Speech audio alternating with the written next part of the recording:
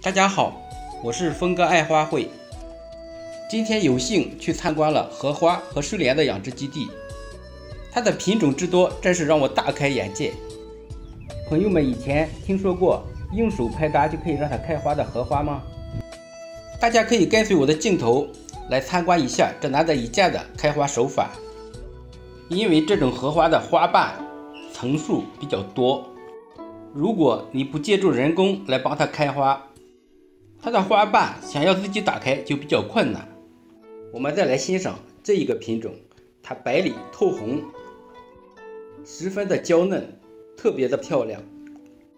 我也是第一次看见，叫不出它的名字。这就是它完全开放的状态，特别的漂亮。大家再跟随我的镜头参观一下，呃，睡莲，它开的花虽然比较的小，但是也是多种多样，有红色、黄色、白色，就飘在水面上面，用手机的镜头都拍不出它自然的美。再来欣赏一下这朵花，它特别的奇特，一朵花有好几个颜色，半边为红色，半边为黄色，中间。为重色，真是让我们大开眼界。再来欣赏一下这一颗，更是漂亮，看起来就像假花一样飘在水面。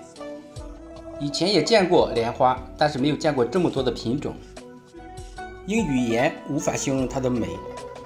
这一个就是大的荷花，它可以作为切花来观赏。这应该就是传说中的荷花仙子吧。